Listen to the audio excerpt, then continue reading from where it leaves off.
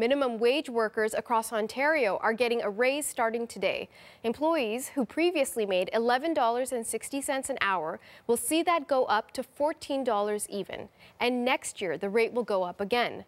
But as Meg Roberts explains, there are concerns over whether the increase is actually a good thing. This is what we're talking about, only a few dollars per hour, but it's caused some major controversy.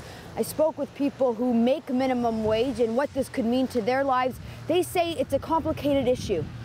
Amira Kesro calls living on minimum wage a struggle. She works full time at a dollar store in Windsor, Ontario. She says the increase in her salary will make her paychecks look good, but that extra income might not make much of a difference. When it goes up, everything else goes up. So when you're looking at it, it's like equal. She's also worried that minimum wage jobs will disappear because small business owners won't be able to pay their salary, which is exactly what one business owner I spoke to said he was going to have to do. I have to uh, try much I can lower the hours for the for my staff here, and I have to put more hours now. I have to bring my wife too. The owner says he normally works about eight hours a day. He will now start to work 10. He says he will be lucky to get one day off a week.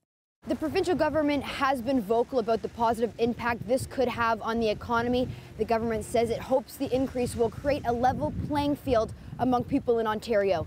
Meg Roberts, CBC News, Windsor.